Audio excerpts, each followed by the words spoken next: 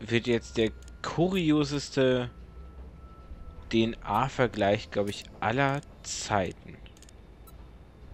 Ja. Schauen wir mal. Ähm, hopp. Hopp oder Top. Oder Flop. Oder Klopp. Ne, Moment, das war was mit Fußball. Und was waren die schlechten Witze? Ich bin heute irgendwie in ganz, ganz großer schlechte Witze-Laune. Es tut mir leid, ich schäme mich fast dafür, euch so leiden zu lassen. There can't be a lot of honey farms that have this type of rare flower growing nearby. Not in Nevada anyway. We need to talk to Brass. Okay. Wir müssen schnell machen, damit die Verschwundenen am Ende lebend gefunden werden. Wir haben eine Spur zu Salazar. We found honey synthesized by the southwestern wood lily in Huntby's stomach.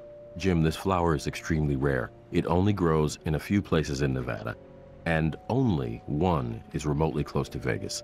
If there's more than one apiary there, I'd be very surprised. A honey farm, huh? Let's find out. I got a hit, Ray. You were right. It's the only apiary around.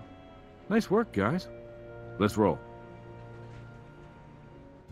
So, jetzt erwischen wir also doch Sarazar, der sich jetzt als, als von wegen großer Let's Player herausstellt. Nein, in Wahrheit ist er weiblich und eine Bienenkönigin. Oh Gott, die schlechten Witze reißen nicht ab.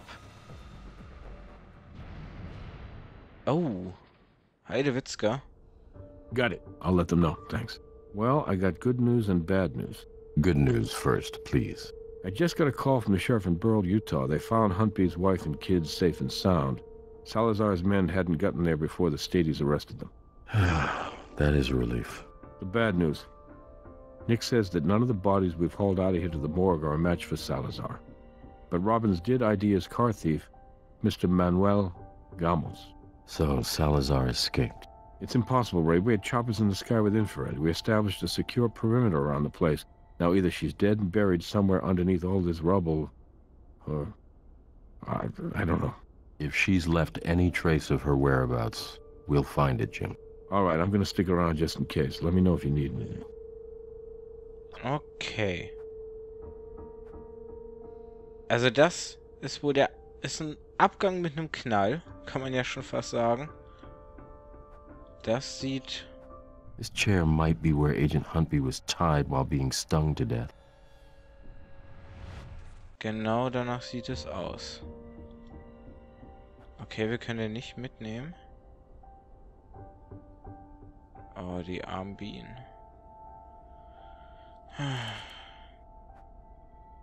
That's strange. Lots of crushed honeybees next to those which are still completely intact. Did you know the honeybee is over 50% crude protein?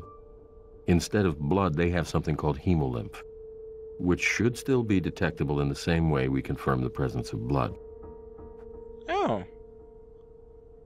Gut zu wissen. Dann zeig mir, was du zu bieten hast. You see that? The LCV is revealing footsteps tracked through the insect's hemolymph. Let's check out where they lead.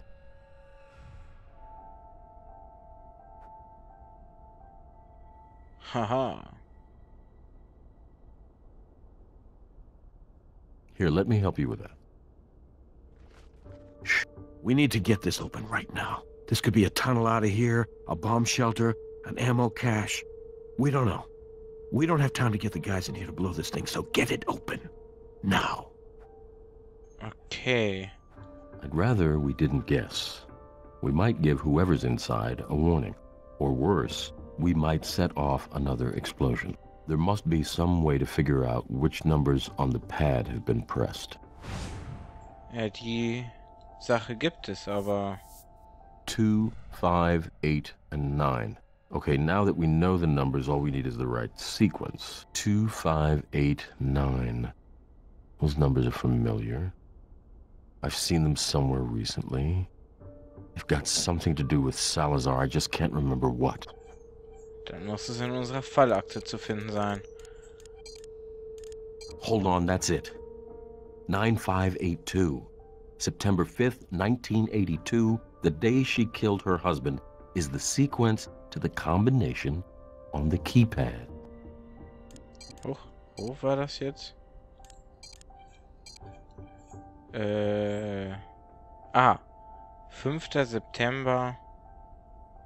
5, ah, 5982. Okay, okay. Hä? Noch mehr Beweise? Das sind wahrscheinlich nur die... Ich hatte schon ein Weilchen kein Versprecher mehr. Die Beweise, wollte ich sagen. So. 5. Freeze! Ah, muss ich gar nicht tippen. Okay, here's the situation. I'm mobilizing a security detail that will be ready any second. I'll give you the last word with Salazar before we go, but make it quick. Then we're getting the hell out of here. And the first round's on me. Alright? Ich habe nicht das Gefühl, dass das hier schon bald zu Ende ist. You. I know you. Where's your lady friend with a smart mouth? I'm still going to kill you. You know that, don't you? Sie gehen lebenslänglich ins Gefängnis, Miss Salazar. Are you sure about that, my dear? I own politicians, judges, DAs. Everyone has a price, and I own them all. I do not think you fully appreciate the height to which I have risen. Your reach exceeds your grasp. You will never touch me. Es wird mir ein Vergnügen sein, bei Ihrem Verfahren auszusagen, Miss Salazar. Why, you... Do you really think you'll live that long? We'll risk it. It's just part of our job. Ich glaube nicht, dass Sie Ihren eigenen Sohn getötet haben. I didn't kill my son. You killed him. When you exposed him. No, Miss Salazar. Your son was looking for his long-lost mother, and when he found you, you took his life away, squeezed it out of him with your own hands. You will never understand. The cruelty of mercy. I spared my son this life. Ihr Drogengeschäft ist zu Ende, das Netzwerk zerschlagen. You are so very naive. Hasn't anyone ever told you what doesn't kill you makes you stronger? And there will never be anyone as strong as I am. Wir haben Handbys Druckmittel gefunden. I'm not sure you can fully appreciate the fact that Huntby betrayed you. Before he died, he compiled detailed information regarding your network of dealers. That information is now in our possession, and we will be handing it over to our own district attorney, as well as the Department of Justice. I see. Enjoy this moment while you can, Dr. Ray, because it shall be called comfort to you as you weep over the ashes of your family. I want you to be able to remember just how delicious this moment was for you, when all you can taste is fear. Jim, bringen Sie sie hier raus. Ich komme sofort wieder. Take your time.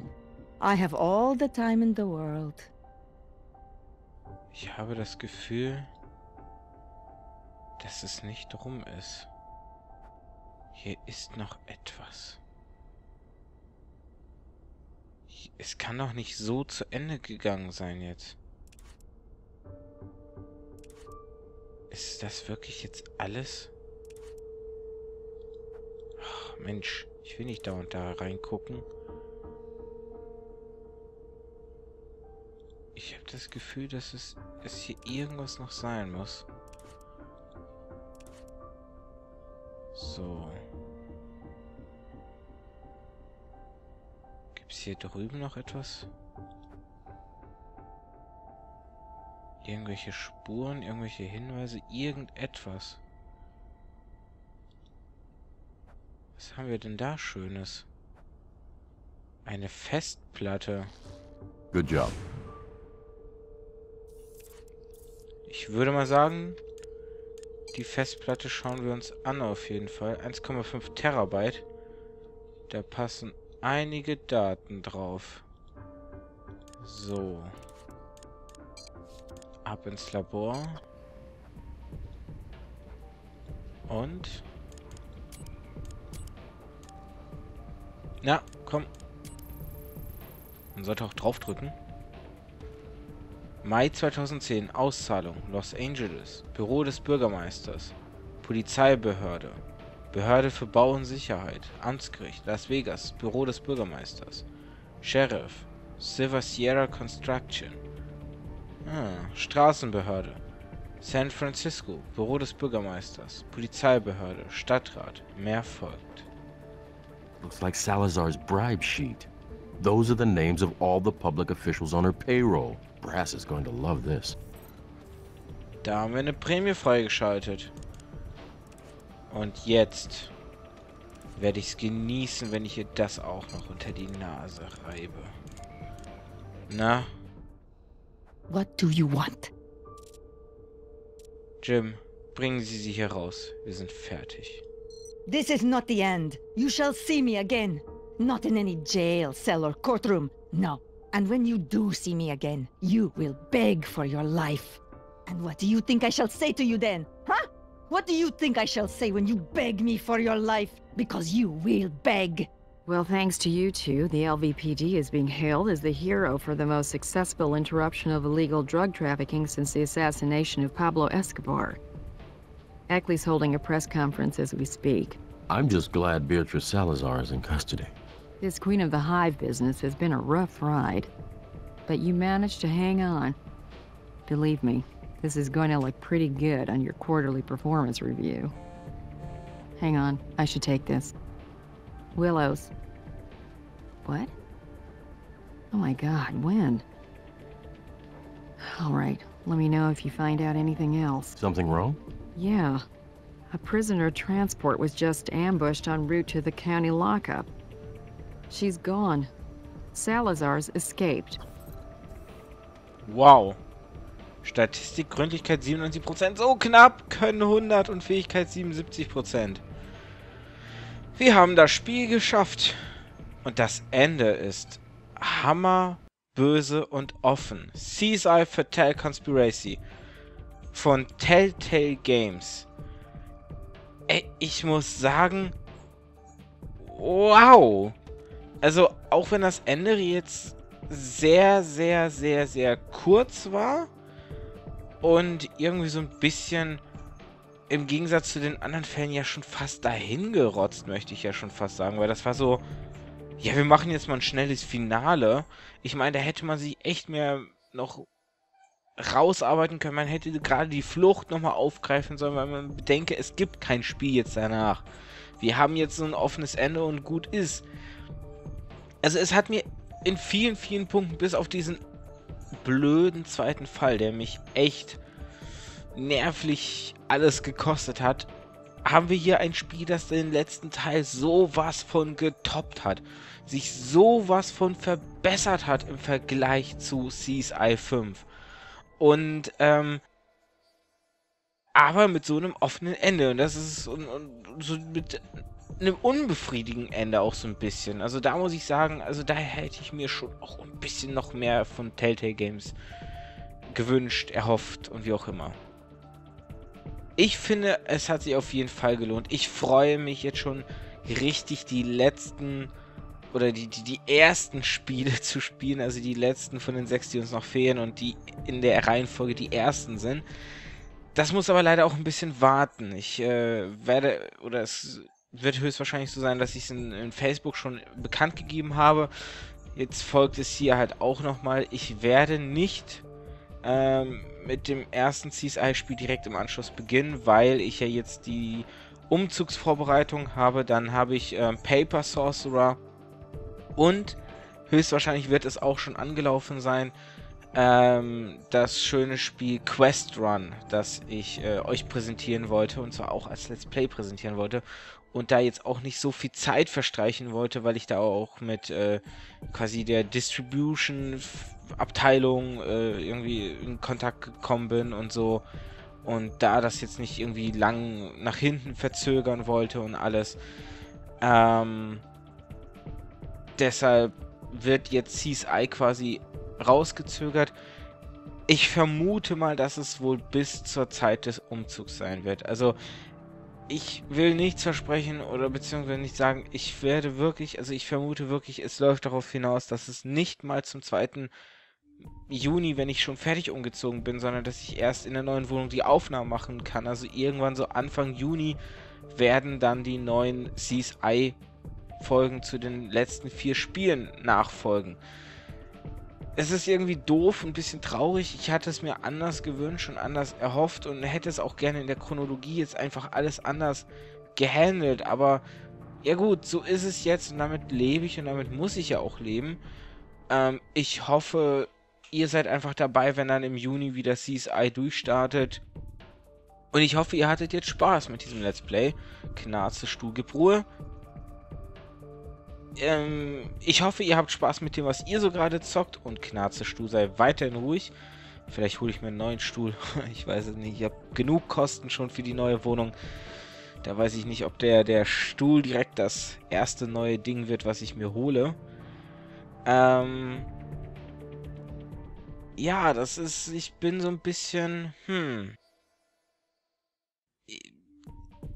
hin und her gerissen. Einerseits möchte ich am liebsten sofort aufnehmen und möchte euch das direkt präsentieren und möchte am liebsten direkt weitermachen. Andererseits ist mir auch klar, dass ich ein so kleines Zeitfenster momentan ein Privatleben habe, Arbeit, Umzug und, und dann äh, Paper Sorcerer und Quest Run, die ja definitiv laufen und die wahrscheinlich auch den ganzen Mai laufen werden. Also ich glaube nicht, dass ich Quest Run sehr schnell durchhaben werde, weil das Spiel... Ähm, ich habe zu dem Zeitpunkt, wo ich diese Aufnahmesession mache, Quest Run noch nicht aufgenommen. Ich habe es aber schon angetestet und so. Und es ist ein Spiel, was schon ziemlich viel Zeit frisst, sage ich mal. Also da muss man wirklich schon sich reinarbeiten reinsteigern.